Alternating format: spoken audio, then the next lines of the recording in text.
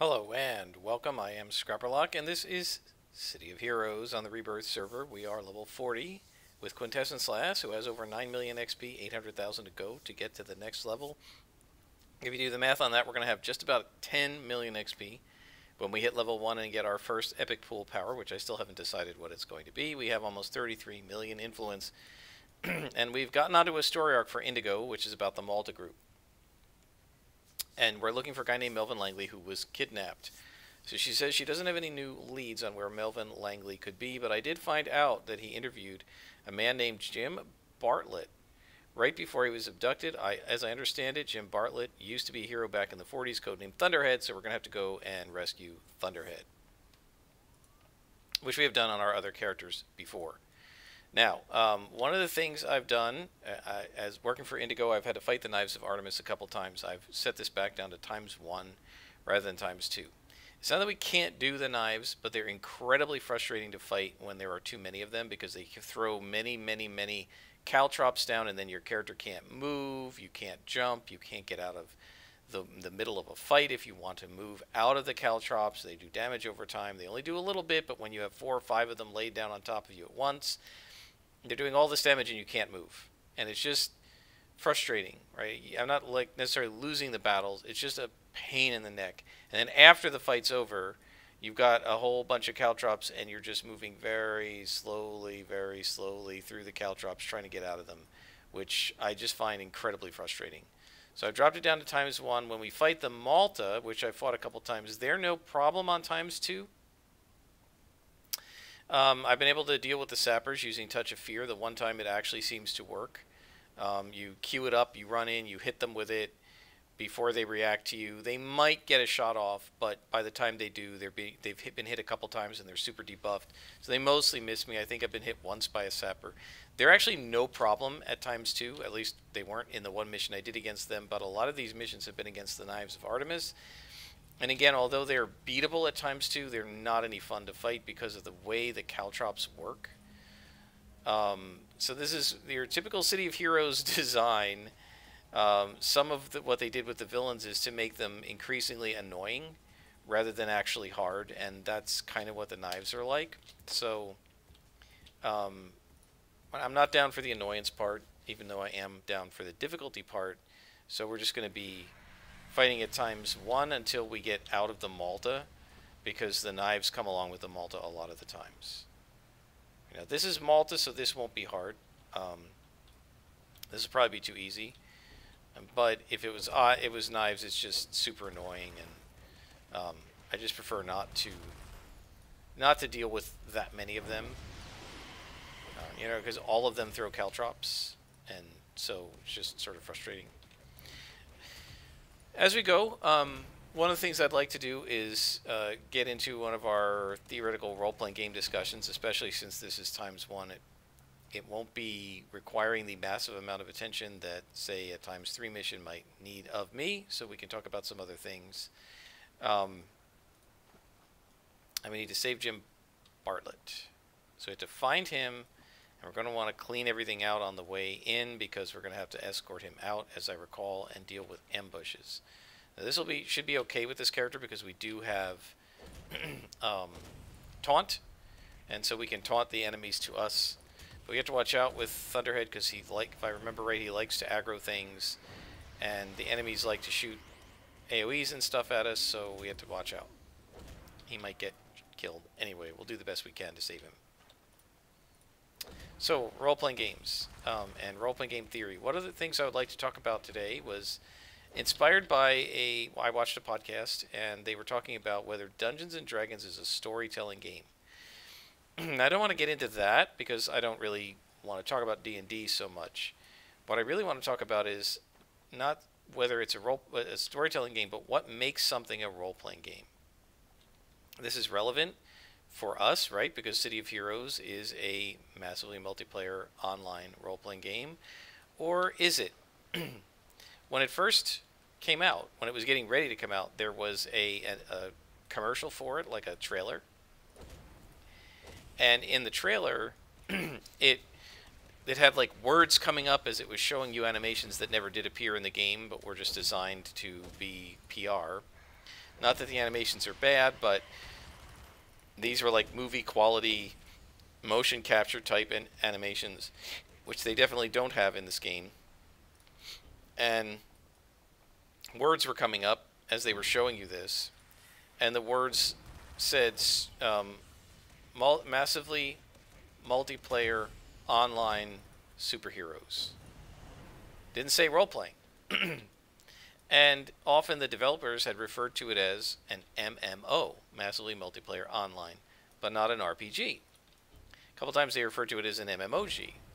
And so several of the people in the pre-beta forums, the old forums that were like black background with white text before they switched to the blue and white that they used during live, questioned this and said, "Are you telling us it's not a role-playing game?" And they said, "No, no, no, we're not saying that." But they kind of were saying that. And so then, you know, you could just debate, well, what makes it a role-playing game? Is this an RPG? I think at first glance, most people would probably say yes, it's an RPG, right? You've got a character, it's gaining levels, it's gaining abilities as it levels up, and that makes it an RPG. But I would actually argue that that's not what makes something an RPG. And there are lots of games that are clearly not RPGs where you can level up. You can level up in Train Simulator. You can level up in Euro Truck, and those are not role playing games, but you can still level up your quote unquote avatar and gain abilities, right? so, what makes something a role playing game? I think there are three things. Of these, City of Heroes has at most one. And it's why I would say that technically, City of Heroes is not actually a role playing game.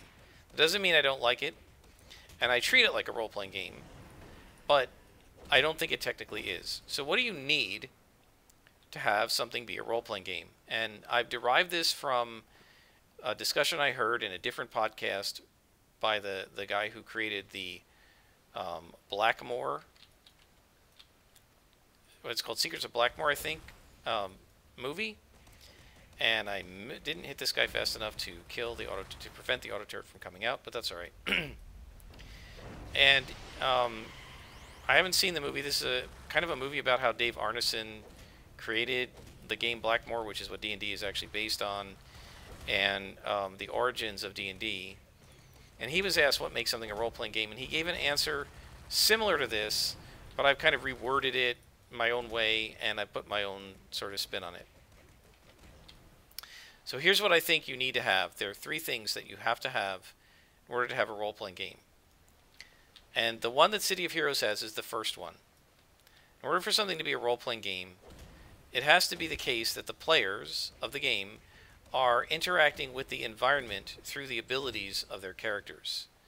That is, you see, hear, feel the world through the senses of your character.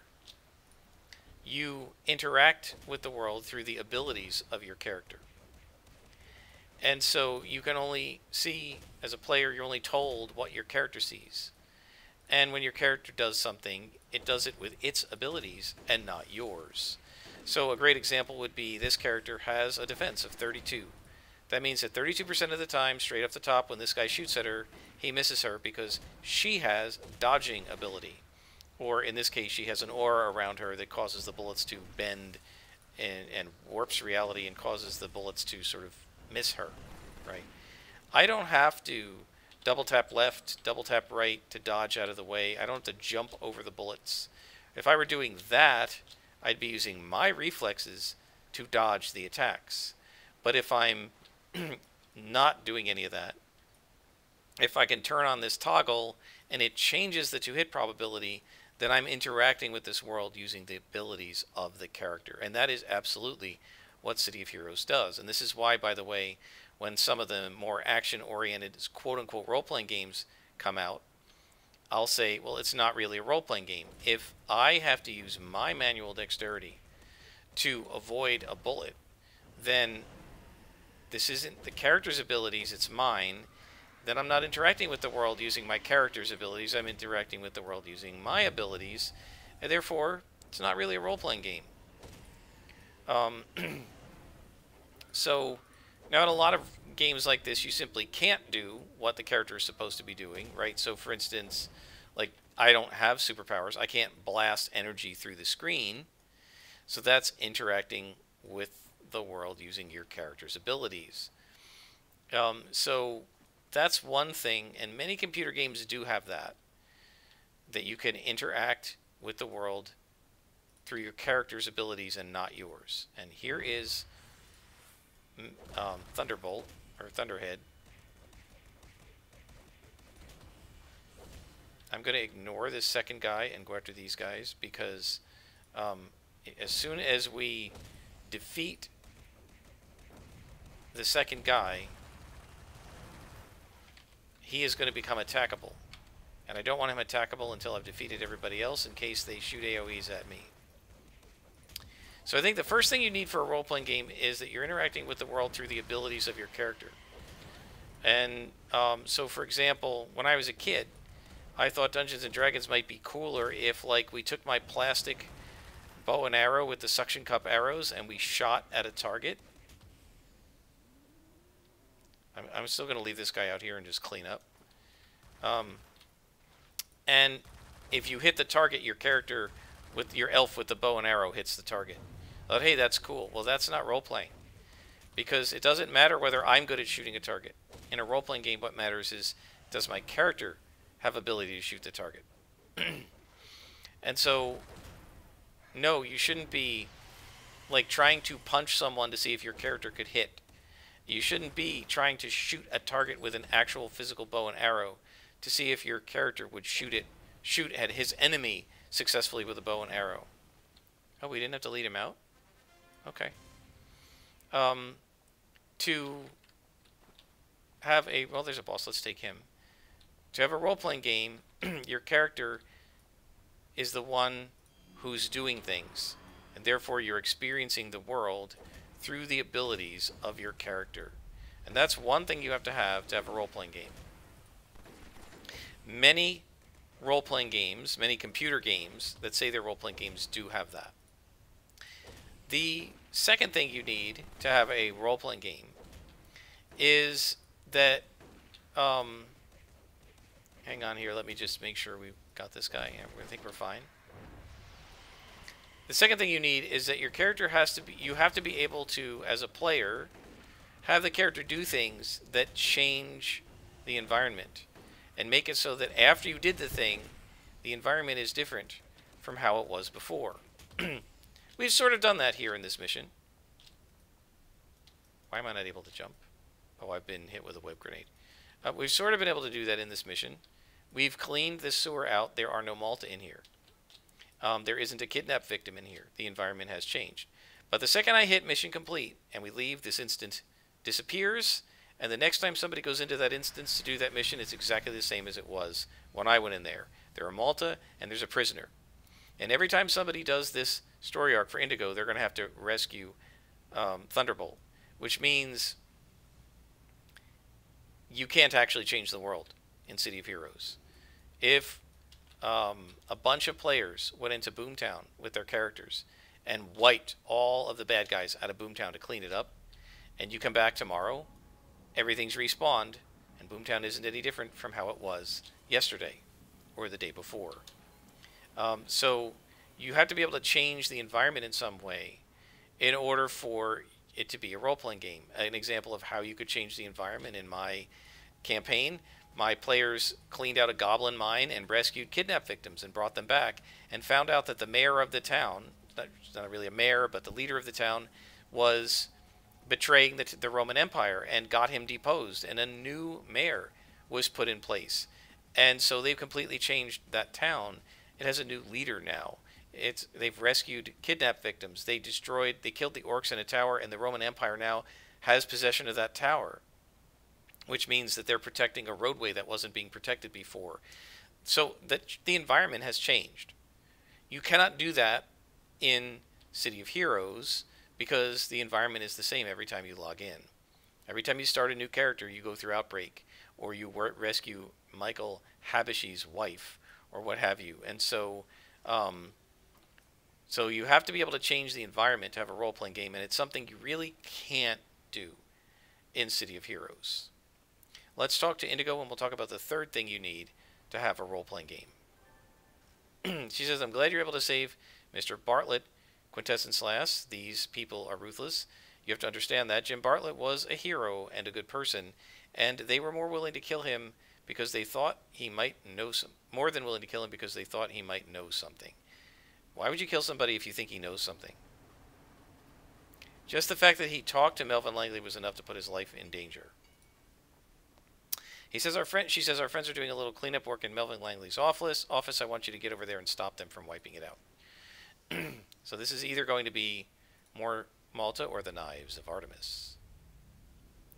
So I think for role-playing games, you're interacting with the through with the environment through the medium of your character, and it's your character's abilities that matter, not yours. And when you use those abilities to interact with the environment, you can change it. And you change it in ways that then can affect you later. if you depose the king, the new king might be more friendly to you, and that will affect you later, or might be less friendly to you, and that will affect you later. So those are two things. And then the third thing that you need to have a role-playing game is that the players have to be able to do things that are not explicitly described in the rules. It doesn't say you can do them.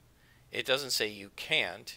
And basically, that working together, the GM and the players decide what can and can't be done. so a great example of this would be my um, jaunt that my party did to the Astral Sea. I made up a whole bunch of mechanisms and stuff that are not in the rules that are about how the astral sea works. And some things the players asked me if they could do, I hadn't made up myself ahead of time. I hadn't thought about it. And I had to decide what was going to happen. So, for example, I mentioned in one of the earlier playthroughs that the. Um, there's a boss, okay. That the uh, players tried to persuade a dragon to join them to fight a pirate, right? It doesn't say in the rules whether the players can persuade a dragon to fight a pirate or not. I had to decide whether the persuasion was going to work. I had to decide how hard it was to persuade them, what skill check to make, what can, what the conditions of the skill check were, whether there were any penalties. None of these are actually specifically listed in the rule book. so that's something where I, as the game master, and the players, as players, had to sort of come to a negotiation about how this is going to work and how we're going to resolve it. Right? And so, yes, persuasion checks are in the rules, but it doesn't explicitly say in the rules that the GM uh, has to allow the players to be able to persuade a dragon to fight a pirate for them. It also doesn't say in the rules what's going to happen if the players are successful. Is the dragon going to betray them? Is the dragon going to fight the pirate to the death? Is the dragon going to distract the pirate's minions so the players can fight the pirate one on one and don't have to worry about all of the other pirates, right? that none of that's in the rules anywhere. That's something that I as the game master and the players as players have to figure out as part of the process of playing the game. And this is something that role playing games generally can't have if they're on the computer. It's literally impossible for you to have your character ever do anything that isn't specified in the code because if it wasn't programmed by the programmers, you can't you literally cannot do it right? You, you simply, like, I can't walk through this wall. It wasn't programmed. If I wanted to attack Melvin Langley when we find him, I can't. He's not targetable, right? if I want to join the Malta or offer to join them for a price, I can't because it's not programmed, right? Whereas in Dungeons and Dragons, you can do it. You're playing a D&D module and it's expecting the players to fight the goblins, and the players say, hey, let's negotiate with the goblins and join them rather than helping the, helping the town. We're going to help the goblins. Well, the GM can figure that out and run it. Doesn't say you can do it in the book, but the GM can allow it. So I think a really important part of role playing games is that you can do things that aren't explicitly accounted for in the rules. I'm not necessarily talking about homebrew. you can make up your own rules in any game. We did in Monopoly. Free parking, we would put a $500 bill. A lot of people do this in the middle of the board. And any taxes and stuff that were paid through the community chest, draws, or chance cards were put into the middle of the board as part of a pot and whoever landed on free parking would get the pot, and then we, the bank would ante up another 500 bucks, and we would just keep doing that. Right? That's a house rule. It's not stated in the rules that you can do it. It's a house rule, but that's really not what I mean. What I mean is something more like I land on um, Park Place, and you've got a hotel on it, and you say, okay, you have to pay me rent, and I say, well, can I burn your house down instead? Can I put it on my credit card? You, you kind of can't do that, right? Because the game doesn't have any way to allow you to do it. Whereas in a role playing game, we do stuff like that all the time. Can I try this instead? Well, okay, let me think about it. If you watch the show Critical Role, which I did in the past, although I haven't in a while, um, there are many times when the players will ask to do something, and the GM, Matt Mercer, will think about it, and he'll say, okay, I'll allow it. When he says, I'll allow it, what is he saying? He's saying, well, there isn't anything in the rules that actually addresses whether you can or you can't do this particular thing. So I will, as a game master, since the rules don't say whether you can do it or not, I will decide whether you can. And so he's allowing them to do something that isn't explicitly stated in the rules. It's usually something the rules don't say you can't do it, and they don't say you can do it. They don't talk about it at all, and it's left up to the game master and the players. And so that is something. Wow, there's a guy here. There's almost never a guy over here. Oh, this has got to be one of the first times. Oh, oh, oh, not good. Getting hit by a sapper here. Let's kill, kill the sapper. And let's get some endurance back. Fortunately, we can do that with this character. Let's give him some fear. So one thing fear does is it does debuff them. This has got to be the first time I've ever seen a hostage here in all the time I've played City of Heroes. I was just coming back here to complete the map.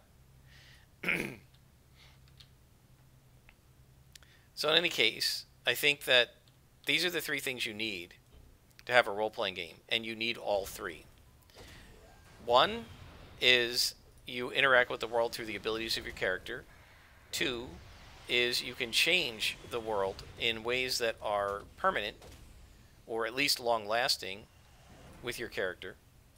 And three is that you can do things or, or ask to have your character do things that aren't explicitly mentioned in the rules.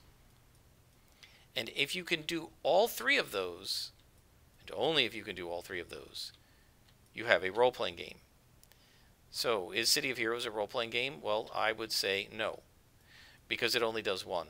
It does allow you to interact with the world through the abilities of your characters and you pretty much reflexes don't matter. You got to click on things, but because there are cues to the action, um, you don't have to be super precise about it. And one of the reasons I'm good at City of Heroes, because I don't have really great reflexes, as I'm sure anybody who's watched this show for any length of time can see, is that I don't have to be hair trigger really awesome with the reflexes.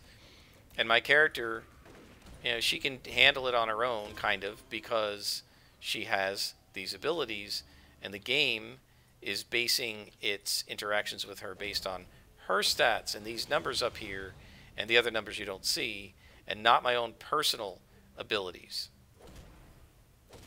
And so it does have that, but there's no way to change the world in any meaningful way. And it's just these missions are the same every time you run them. Maybe it's a different map, but it's the same goal, the same guys you're rescuing, same thing, and you're going to have the same mission with every character. Everybody's doing, you know, every one of my characters on the hero side has done the Wheel of Destruction. Every single one of them's done the Scroll of Tieleku. doing it doesn't change anything. Right? Just got to watch out for this sapper here. Um, and then finally, you can't do things that aren't accounted for in the rules in any computer game. So, City of Heroes is a great game, but I would argue, by my definition, it's not actually a role-playing game. Now, do I use it as one? Sure. I, you join a roleplay guild, and um, yes, then actually we could choose to do things in our minds, you know, like headcanon, that aren't accounted for by the rules. For example, my guild, when bases didn't exist yet, we would meet on a, a rooftop, the rooftop near the train station in Talos Island, and that was quote unquote our base. And we role played in chat and claimed that our characters were in a super base, right? Which wasn't being accounted for by the rules. And we stood around and in chat had our characters do things that the rules didn't allow, right? And so we couldn't actually do them using the game mechanics, but we could do them just by typing, right? So like let's say my character punches yours. Well, it actually you couldn't do it because they don't allow um, PvP or didn't allow PvP at the time, but we would emote it, right? And that sort of enabled us to pretend that we were having our characters do things that it didn't say in the rules, right? And we could pretend that there were permanent changes happening to the world in the parts that we were role playing about, right? Like my um, one friend made up this story about how his character was working for Crey, and we were in this one mission, and he was he was just narrating. We have to like we went to the there were these containers over here, and he said these are the containers of whatever the Crey were doing. We have to destroy them, and so we all we all fired off our AOE's to pretend that we had destroyed these containers, right? So we were making it up and using the game like a role playing game. But if you just play City of Heroes as it's been programmed, it's not a role playing game right? And this isn't a knock. This is not a knock on City of Heroes. I've been playing all these episodes of it. I love doing it. We're going to play this character to level 50. And um, I'm having a blast. But as it's programmed, playing the game, you know, sort of as it's designed, it's not a true role playing game. It doesn't make it bad, but it's really not designed as a true role playing game. And I would argue most computer games haven't been and kind of can't be. Because most of the time they can't let you allow you to completely change the environment and they can't as a computer program it cannot allow you to do things that weren't designed by the designers because you can only do what the code allows you to do. Right? So i can't negotiate with the malta here and try to negotiate their surrender because they didn't program that, and so it's not possible. Now you could do it with headcanon and say, well, when it looks like my character's beating people up, she's actually negotiating with them, but that's not what the game is doing. That's you making stuff up. Right? So you can turn almost anything into a role-playing game if you want by ignoring the rules and doing your own thing. But an actual role-playing game is a game that doesn't just that that a game an actual role playing game isn't a game where you can ignore the rules. You could do that in chess if you wanted, right? It's a game that is designed to allow you to do things. It wants you to do things that are not explicitly accounted for in the rules.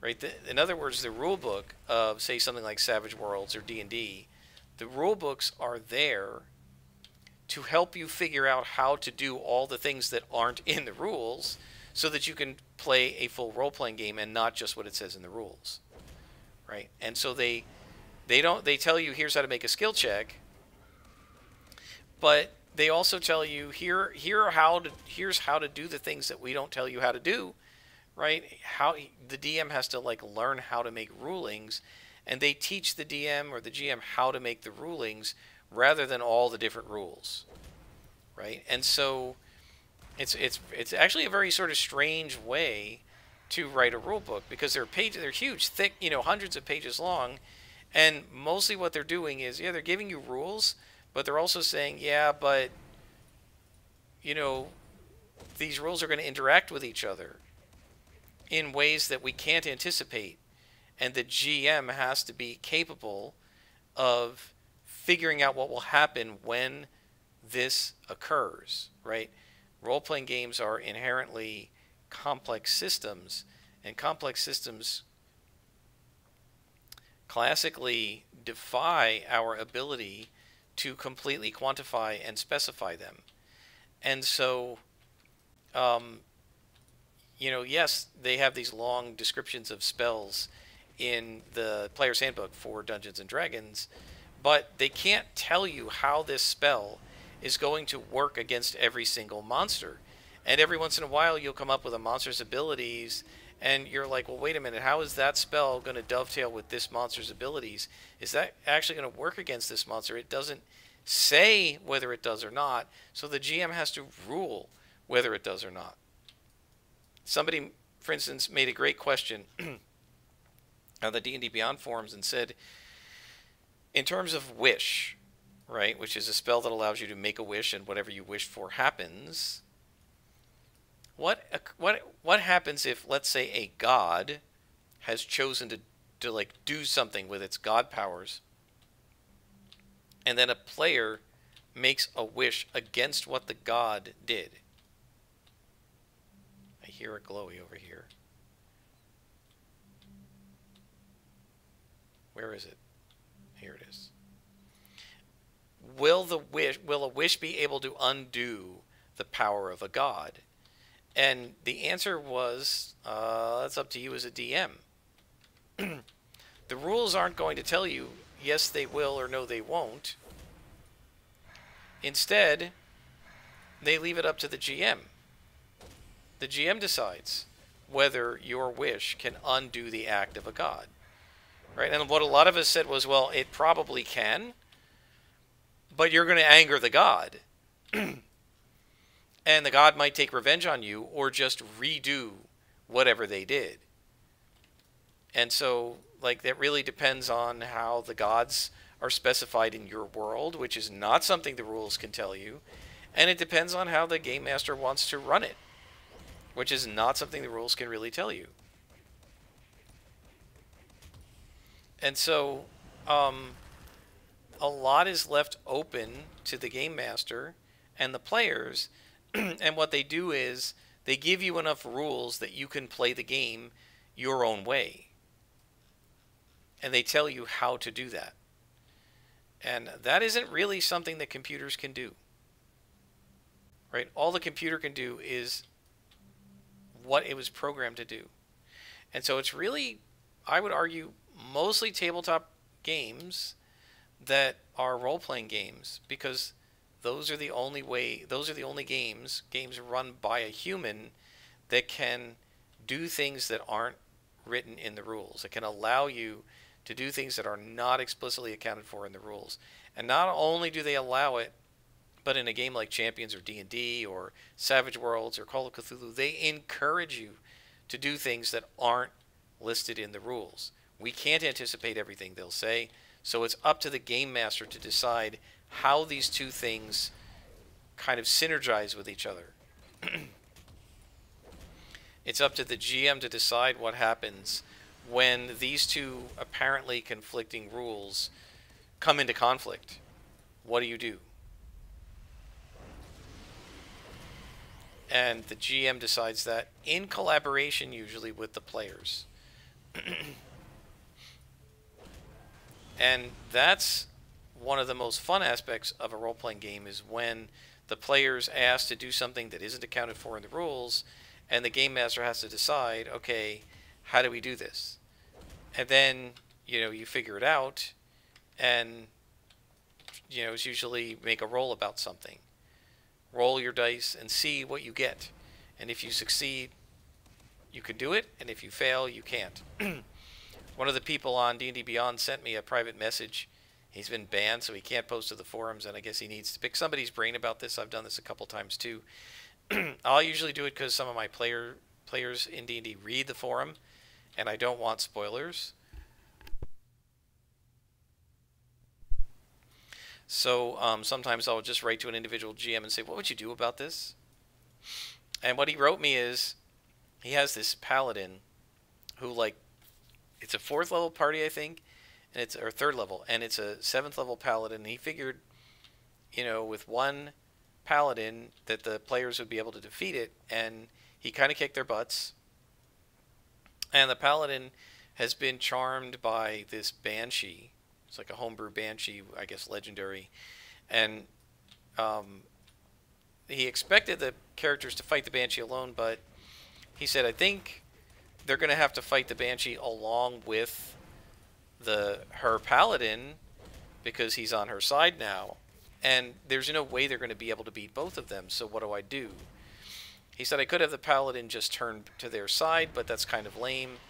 So I said, now, again, this is a game master. Like, there's nothing in the rules about this. He's just trying to figure it out. And so what I said was, well, one thing you could maybe do, and there's another sapper, is do it as a skill challenge, right? And each round, as a bonus action, in addition to fighting the zombie and the, the, the banshee and moving around, they could, as a bonus action, try to persuade the paladin to join their side and if they get enough successes before they fail, he joins them, and if they fail, he sides with the Banshee, and they probably lose. Now, there isn't anything in the rules that says you can do that. But he could if he wants to, right?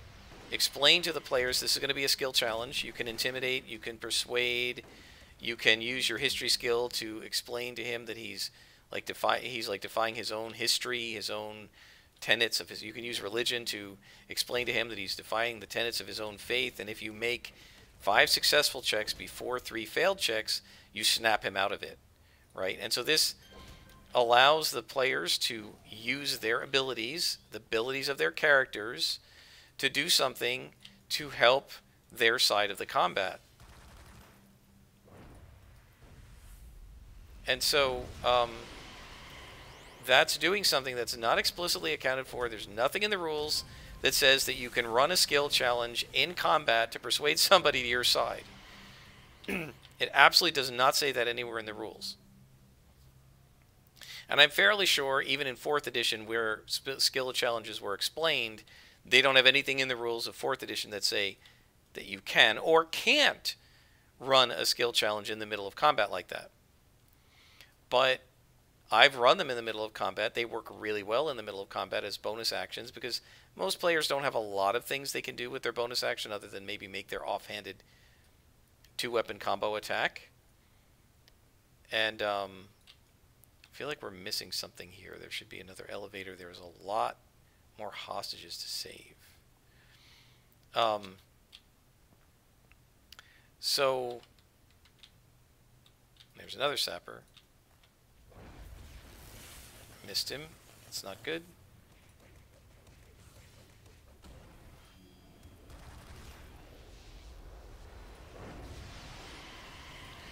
And so, um, yeah, being able to do things like that that aren't in the rules is one of the most fun parts of role-playing games.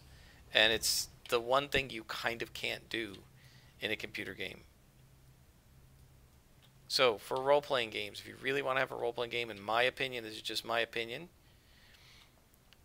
you need to have the ability to uh, change the environment in long-term ways.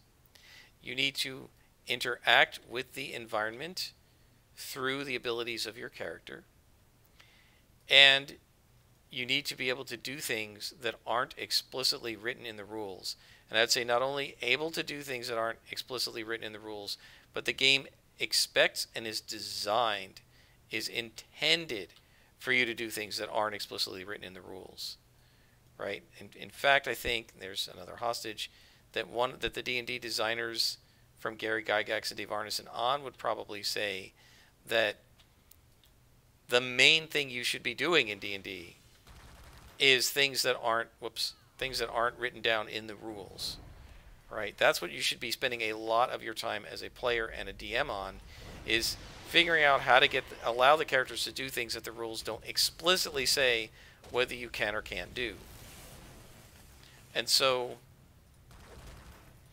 um, so yeah, you need that for a role-playing game, and very, very, very rare is the computer game that will allow it. Right? Because they, you just kind of can't. So we have one more hostage. I must have missed somebody on the lower level, I guess. I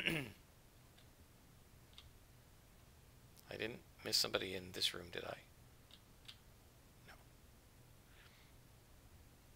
So yeah, leave your comments. Um, do you agree with my definition of a role-playing game? Do you feel like role-playing games should be defined in some other way? What do you think? or is it just any game where you play a role is a role-playing game? I probably would have defined it that way years ago. But I think I think it's not necessarily true. Because yeah, we're playing a role with this character, but at least soloing through it, are we actually role playing? Is this a role playing game? I mean, I don't know if you could really call it that. so now I'm going to have to take forever to find the one guy I missed. Oh, there's another level. Maybe we missed somebody on the lower level. I'm going to pause it here while we look for the last glowy and the last hostage, and I'll bring you back when we find one or both of them. Alright, so we found a glowy. Missed that one. It was right here on the first level. I'll keep looking for the last sausage. Oh, and there she is. And it's with a sapper. And an operations engineer, so we're going to have to fight an auto turret, but that's alright.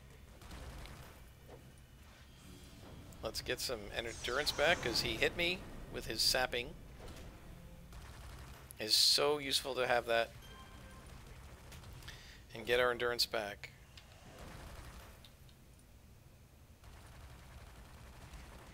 And one nice thing about this character is the AoEs get that auto turret while we're fighting its owner. And we have completed the mission. So let's head out.